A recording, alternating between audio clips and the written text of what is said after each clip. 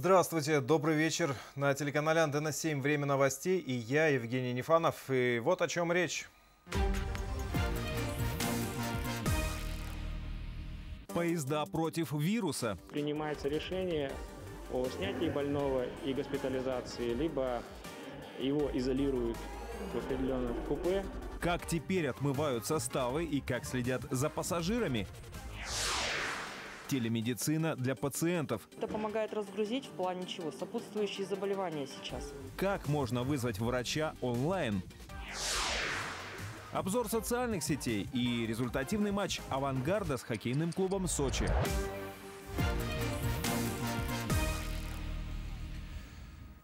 Ну что ж, сегодня новый рекорд озадачил врачей Омска и области. За одни только сутки они выявили 225 новых случаев коронавируса, из них в городе 183. Таким образом, общее количество заболевших новой инфекцией за весь период пандемии превысило 18 тысяч человек. Самая высокая заболеваемость коронавирусом сейчас наблюдается в шести регионах России. На Ямале, в Республике Алтай, Москве, Калмыкии, Магаданской области и Туве, заявила сегодня вице-премьер Татьяна Голикова. По ее словам, ситуация с коронавирусом в стране осложняется. Наименьшую заболеваемость наблюдают у детей, наибольшую в возрастной группе от 50 до 64 лет. Преодолеть очереди в поликлиниках сейчас под силу не каждому, а дождаться участкового и скорую на дом тоже задача. Омскинформ сообщает о смерти 62-летней жительницы Омска, которую отказались госпитализировать с целым рядом хронических заболеваний. В Минздраве, впрочем, ответили, что сделали для пенсионерки все, что могли. Сегодня же журналистам представили новый сервис, благодаря которому посетить врача можно онлайн – у регистратуры мало людей. Обычно сюда стремятся по утру, а сейчас 2 часа дня. А есть ли талоны? Вы все расскажете потом. А мы и покажем. Раз обстановка с ковидом нервная, то и регистратор Альфия получает от нас такой запрос. Найдите ближайший талон к неврологу. Но поскольку сейчас у нас из трех неврологов работает только один специалист, немножечко с задержкой. Ну, задержки сколько? Неделя, две? Секунду. К слову, пока ожидаем, в этой поликлинике узких специалистов не так уж и много в принципе. Так, талон есть на 18 ноября, то есть неделя. Утренние очереди уже разошлись, но у кабинетов терапевтов пациенты ожидают приема. Врачи уже привычно не только слушают дыхание, но и изучают снимки, а завершают прием в этой поликлинике раздачей листовок. Это Сберздоровье предлагает бесплатные консультации онлайн. Управляющий кропотливо объясняет в фойе, как это работает. Для получения консультации необходимо зарегистрироваться в личном кабинете на сайте Сберздоровья или в мобильном приложении, ввести промокод и выбрать специалиста, консультацию которого вы хотите получить. По итогу консультации вам будет направлено официальное медицинское заключение. Понимая, насколько необходима поддержка сейчас э, здравоохранению, мы в ближайшее время запустим еще один сервис, разработанный специалистами Сбера. Он позволяет э, проводить анализ снимков компьютерной томографии с использованием инструментов искусственного интеллекта, что сокращает время на подготовку заключения по результатам исследования.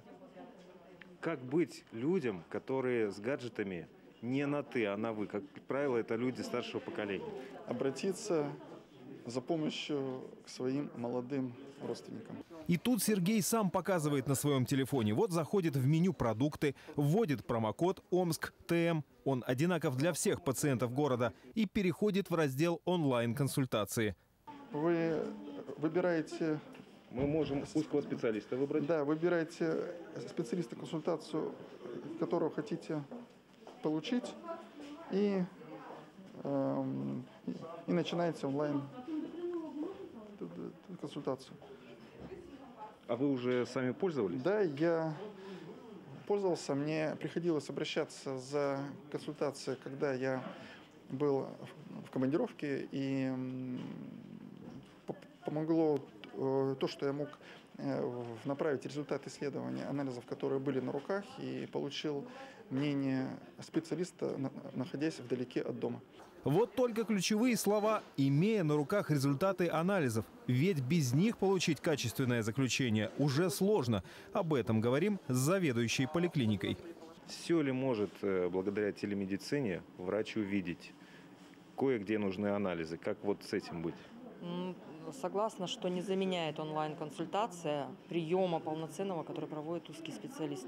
Так как нет осмотра, не проводятся специальные методы исследований, не проводится осмотр пациента с э, аускультацией, с перкуссией, с теми методами, которые доступны при непосредственном контакте. А, анализы здесь двояко. Можно да, по консультации этого специалиста сдать анализы у нас на месте и отправить результаты, и специалист уже по результатам анализов может дальше повторно же давать консультацию. Поэтому приходили пациенты и говорили, я после консультации онлайн, мне нужно пройти такой-то метод обследования. И они на месте здесь у нас могут его получить, этот метод обследования, и дальше уже консультироваться. Но полноценно прием не заменяет, конечно, это. Но это помогает разгрузить в плане чего? Сопутствующие заболевания сейчас. Все э, специалисты у нас на коронавирус в основном распределены. Но от этого другие заболевания не исчезли. Люди хотят получать консультации, они имеют на это право. Поэтому это будет большое подспорье. Вот только консультации узких специалистов уже стоят денег. Бесплатны здесь только онлайн-приемы терапевта и педиатра. Если бы Наталья знала, то обязательно воспользовалась бы. Ну да, конечно. И вообще лишний раз бы вот я не поехала, например, потому что мне было тяжело. Но в связи с тем, что мне нужен был больничный лист, мне пришлось ехать. Какой диагноз в итоге вам поставили? ОРЗ. А пока привычно наблюдать очередь к терапевту в поликлинике. И тут уже пациент делает вывод.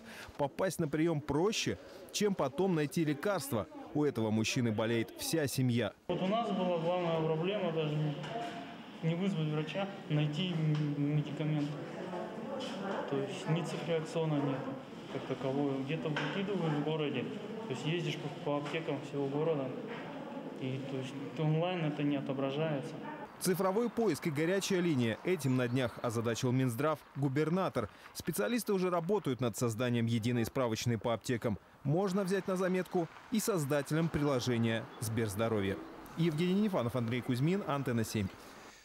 И вокзал для двоих из-за коронавируса пассажиропоток западно-сибирской железной дороги упал почти вдвое. Но поскольку эпидситуация в стране только ухудшается, РЖД объявила тщательную профилактику для соблюдения социальной дистанции в зданиях вокзалов, на входных группах, в кассовых залах и залах ожидания. Нанесли вертикальную и напольную разметку, помещения регулярно проветривают, дезинфицируют и по-особому теперь моют даже электрички. Анна Рыбина и Андрей Кузьмин увидели как.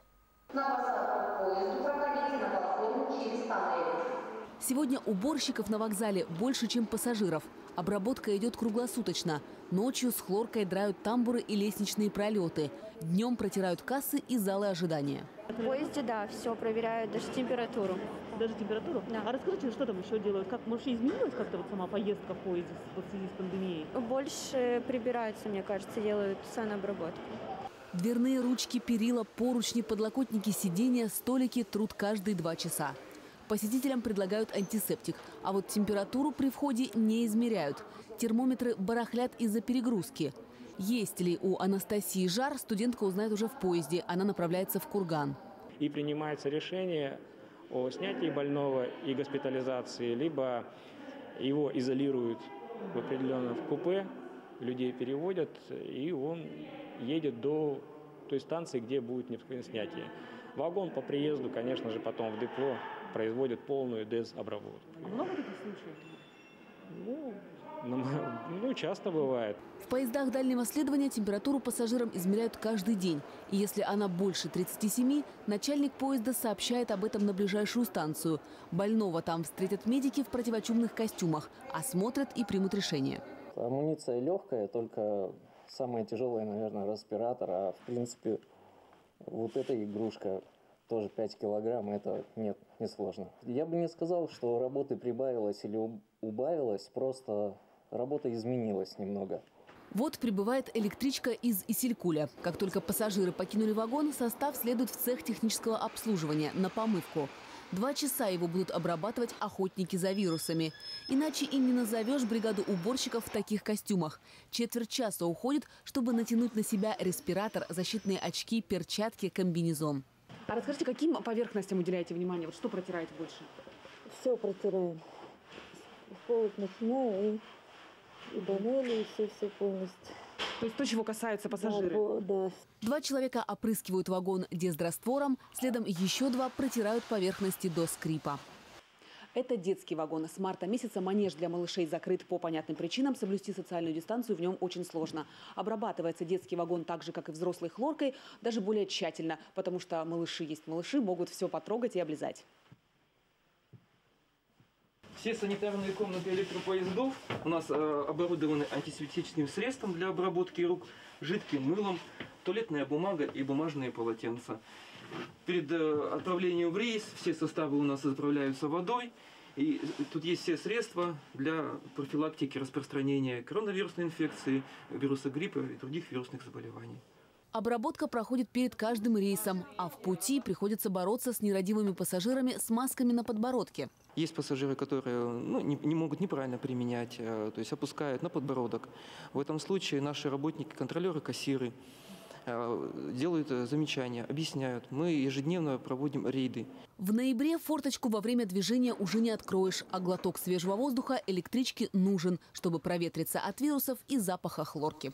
Анна Рыбина, Андрей Кузьмин, Антенна 7. Коротко о ночном происшествии на метромосту. Один человек погиб в результате вылета иномарки. Дорогая машина на большой скорости влетела в бордюр уже на, въезд... на съезде к улице Орджоникидзе, от чего перевернулась и упала в 20 метрах от дороги. 27-летний водитель погиб на месте. Сейчас следователи устанавливают обстоятельства этого ДТП. Школьники сегодня буквально завалили идеями губернатора. Школьники, впрочем, те еще умельцы. Они победители и финалисты всероссийского конкурса «Большая перемена». И тут вполне себе серьезные проекты. От обустройства арт-пространства в здании бывшей картографической фабрики до проектов «Умная парковка» и «Персональный диетолог». Как стало известно на прошлой неделе, сразу несколько омских старшеклассников победили. Ученики девятых классов в итоге заработали по 200 тысяч рублей, а одиннадцатиклассникам открыли счета на 1 миллион рублей. Всего в финале одного из самых масштабных проектов президентской платформы «Россия – страна возможностей» Омская область представила 12 школьников. Губернатор пожелал развивать успехи и напомнил известную притчу. Класс учеников решили задать сложный вопрос своему преподавателю. То есть найти, есть ли вопросы, которые, на которые их любимый преподаватель не знает ответов. Ну и э, самый такой продвинутый ученик ловит бабочку, держит в руке и готов сжать эту, свой кулак в любой момент. И задает преподавателю вопрос, скажите, дорогой учитель, а вот в руке у меня бабочка, она живая или мертвая? И что ответил учитель, помните? Правильно. Так вот, дорогие друзья, вы должны запомнить вот эту главную фразу ключевую, что именно в ваших руках все ваше будущее. Никто, кроме вас, э, не решит. Все, что могли дать вам родители, они уже дали. Они дали вам тепло, заботу, да, а, ну, может, где-то вот подсказки, куда двигаться, какую выбирать профессию, помогут. А все, что дальше в жизни, будет обеспечено только вами. И теми знаниями, которые вы приобрели за партами, э, тем умением общения, которое вы сегодня демонстрировали на конкурсе федеральном. Поэтому двигайтесь вперед. Порядок с мусором в микрорайонах города решили наводить благодаря рейдам. В Советском округе инспекция выписала сразу 8 протоколов. Один из них вот здесь, из-за этой площадки. Тут и сгоревший контейнер, и мусор повсюду. Грязь наблюдается и на территории рядом с контейнерами. Все это вблизи многоэтажек 4Б и 6 корпус 2, улица Химиков. Удивительно, что такой бардак допустила даже не управляющая компания, а товарищество собственников жилья, ТСЖ, под названием «Парус», получит протокол об административном правонарушении. Наиболее часто встречаемые нарушения – это разрушенное бетонное основание контейнерной площадки, не проводится дезинфекция контейнеров, не складирован КГМ правильно, то есть там эм, вместо КГМ складируются обычные твердые коммунальные отходы в мешках, которые должны собираться управляющими компаниями, дворниками управляющих компаний и складироваться в контейнеры. Грызуны а какие меры принимаются администрацией округа к нерадивым управляющим компаниям, а также а, представителям ТСЖ, ЖСК, которые нарушают правила благоустройства? Специалистами администрации округа в ходе рейдов выявляются нарушения, составляются уведомления, выдаются управляющим компаниям, хозяйствующим субъектам, а также составляются протоколы об административных правонарушениях. Вторая волна ковида наступает, люди все больше сидят по своим домам. Где же пообщаться горожанам? Ну, конечно, в соцсетях. Живо откликнулись комментаторы под постом в паблике «Инцидент Омск» о захвате земли. По словам автора, на чужое посягнул жилец одной из квартир, причем даже не собственник. Разрешения ни у кого не спрашивал, чтобы обнести забором участок общей земли. Согласия на эти действия собственники квартиры номер 5 не давали. Установлен металлический забор 2 метра. Окна жильцов квартиры 5 упираются в металлический забор. Жильцы квартиры 5 при пожаре, выпрыгивая из окон своих квартир, окажутся на закрытом земельном участке, либо на штырях забора. Пострадавшие просят реакции администрации города через интернет. Комментаторы восприняли чужой конфликт близко к сердцу. Мужик красавчик, побольше бы таких. А вам, соседи злые, наверное, нравится ходить по газону с собачьими фекалиями. Забор ставится для формирования зоны отдыха одного человека, а не всех жильцов. И установил его он на общедолевом участке. К вам бы в огород пришел сосед и поставил внутри свой забор. Для него. Вам бы понравилось? А в администрацию не пробовали писать? Причем тут администрация? Там частная земля. Пущай в суде и разбираются. Можно и без суда ему зону комфорта там устроить. Типа мусорного полигона или птичьей гавани. Ожидаемо резонансный пост о штрафе без масочника. Покупатель попался проверяющим в супермаркете. Как сообщили в пресс-службе судебной инстанции, мужчина отделался минимальным штрафом одну тысячу рублей. У него не было отягчающих административную ответственность обстоятельств. Кое-кто из комментаторов поставил себя на место штрафника. Зачем подписал протокол? Нужно было писать «Не согласен», если человек идиот, то его даже не жалко. Люди, которые согласны со штрафом и добровольно подписывают протокол, вы на что надеетесь? Что это, когда-то прекратится и на вас перестанут зарабатывать стадо баранов, а не общество? Умудрился пройти без маски? Подождите-ка, вроде как запрещено обслуживание без маски, но не нахождение в магазине без нее. Что за бред? Надевайте маску не для того, чтобы других не заражать, а чтобы не штрафанули. Таким подходом людям неправильно объясняют необходимость ношения маски. Омск оказался в топ-5 городов России по случаям с высоким загрязнением воздуха. Мимо такого поста подписчику трудно пройти. До второй волны коронавируса экологическая тема была самой жаркой. Само собой, в комментариях негатив. Нравятся мне такие решения проблемы. Сообщили людям, что они в топ-5 опасных городов, и дальше ничего не будут делать. Новость дня. Мы уже давно в топе в попе, не первый год подряд. Почитали? Ну и хватит. Дышим глубже дальше. Все хорошо. Нюхательная машина, возможно, найдет источник выбросов. И по загрязнениям, и по коронавирусу уверенно выбиваемся вперед. Продолжаем следить за сетевой жизнью Амичей.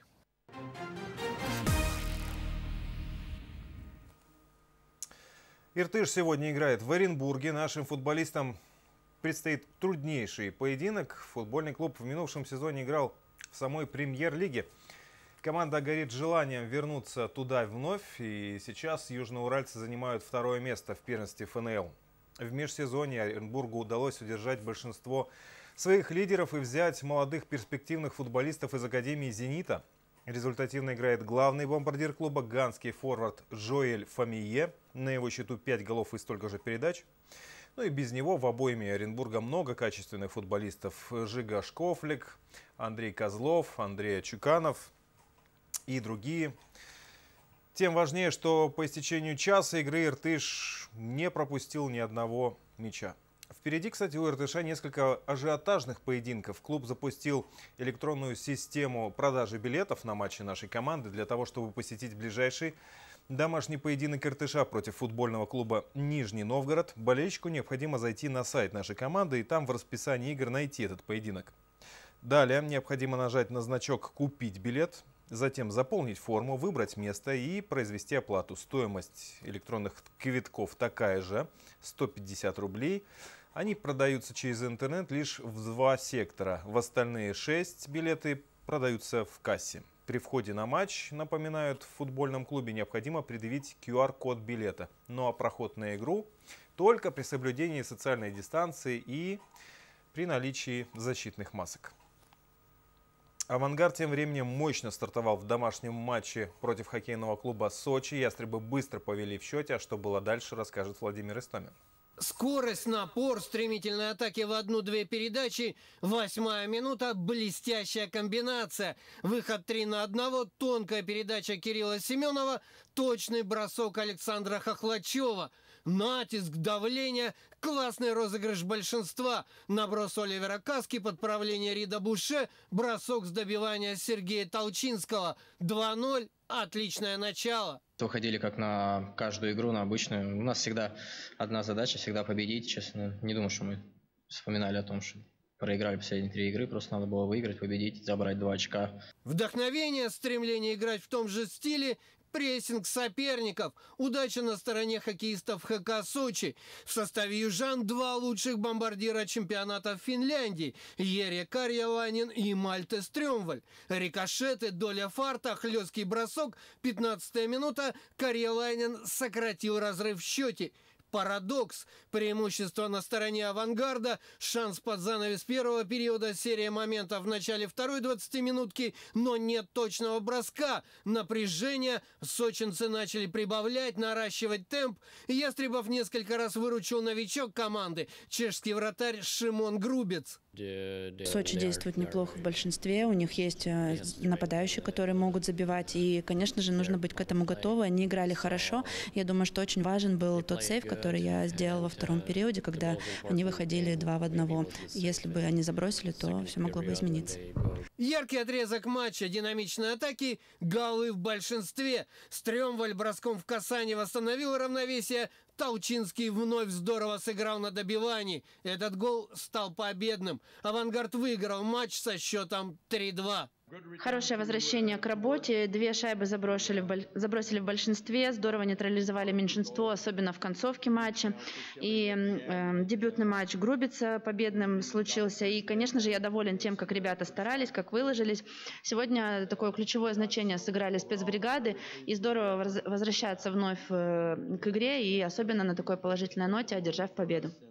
Впереди у «Авангарда» большая выездная серия. Расписание ближайших матчей можно посмотреть на официальном сайте клуба. Владимир Истомин, Антенна 7. Таковы новости. Самое главное, не болейте и до встречи. Дети берут пример со взрослых и все повторяют за вами. Ваша задача – сделать так, чтобы они повторяли правильные вещи. Например, чаще мыли руки – надевали маску в общественных местах, чихали и кашляли в локоть и защищались от чихов других, соблюдали дистанцию. Чем больше правильных вещей дети будут повторять за вами, тем в большей безопасности они будут. Будьте хорошим примером и будьте здоровы. Новости. Официальная группа ВКонтакте.